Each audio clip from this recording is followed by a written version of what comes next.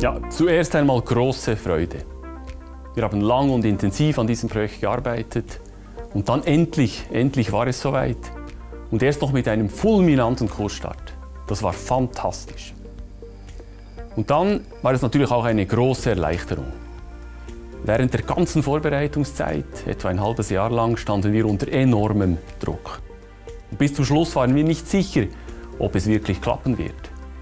Erst als wir dann sahen, dass unsere neue Aktie 10% über dem Ausgabekurs gehandelt wurde, erst da wussten wir, dass das Projekt ein großer Erfolg war.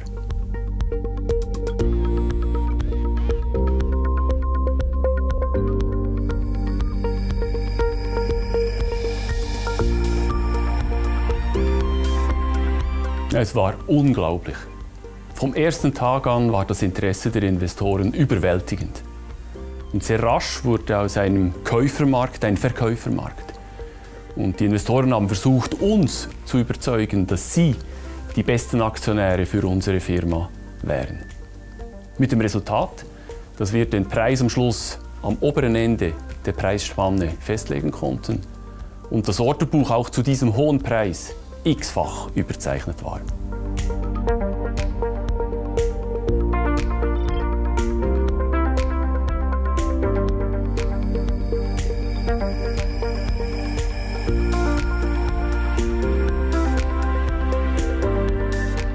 Die neue Galenica ist ein Dividendentitel, auf die Schweiz fokussiert, mit geringen Risiken. Und unsere neue Aktionärsbasis entspricht exakt diesem Investorenprofil.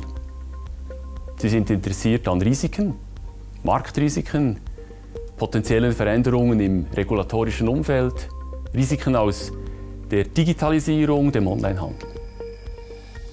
Wir zeigen Ihnen auf, wie wir diese Risiken einschätzen, wie wir uns auf Veränderungen vorbereiten, wie wir weiter wachsen und uns entwickeln wollen mit Expansion, mit neuen und innovativen Dienstleistungen und Geschäftsmodellen.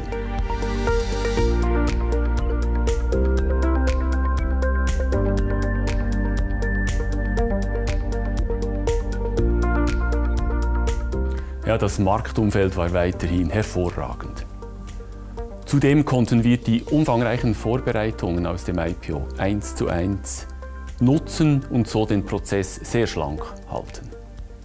Es war ein großer Vorteil, dass wir so kurz nach dem IPO unsere ersten Obligationenanleihen auf den Markt bringen konnten und uns so langfristig zu sehr attraktiven Konditionen am Kapitalmarkt finanzieren konnten.